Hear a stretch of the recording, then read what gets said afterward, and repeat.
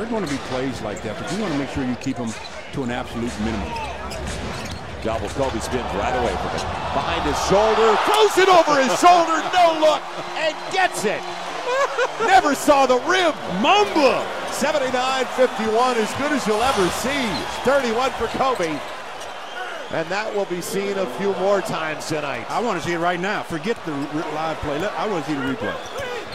that, that was special. Spectacular.